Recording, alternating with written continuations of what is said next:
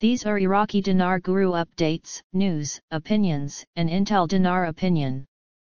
According to Iraqi Dinar Intel Guru Wolverine, by way of Judy Byington a few topics I am unable to discuss because of NDAs and confidentiality. I am here to inform you that the gates have opened. I'm hoping that everyone will be blessed by the end of the month. It's not hopium here. This is verified by actual people on the ground.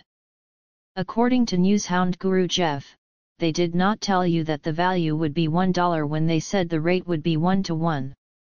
They will never tell you what the exchange rate will be.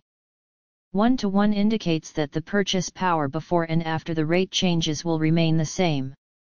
A 25,000 dinar note will have the same purchasing power before the rate changes as a 25 dinar note after the rate changes, your multiplier is the exchange rate against the dollar. For simplicity's sake, let us say that the new exchange rate is 3.00 after the rate changes. Since all currency now has a value of 3, a 25,000 note multiplied by 3.00 would be worth 75,000, and a 25 note would be worth 75 after the rate changes. It's that easy.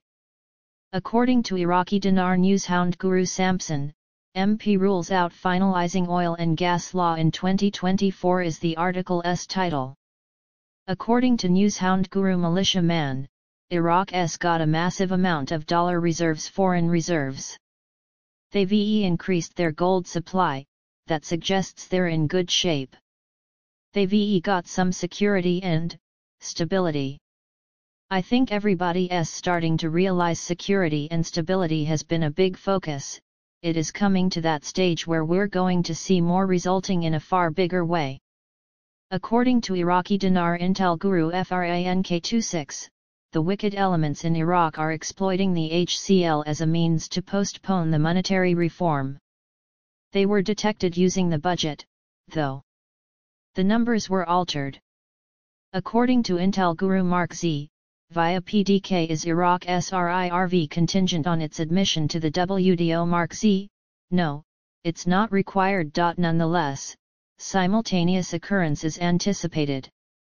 According to Iraqi Dinar Intel Guru Bruce, via Wiser Now, it appears quite probable that we will start talking on Saturday and continue over the weekend and the following week. I believe that we are really close. All I can say is that I'm excited for us to cross over and see how things work out for us.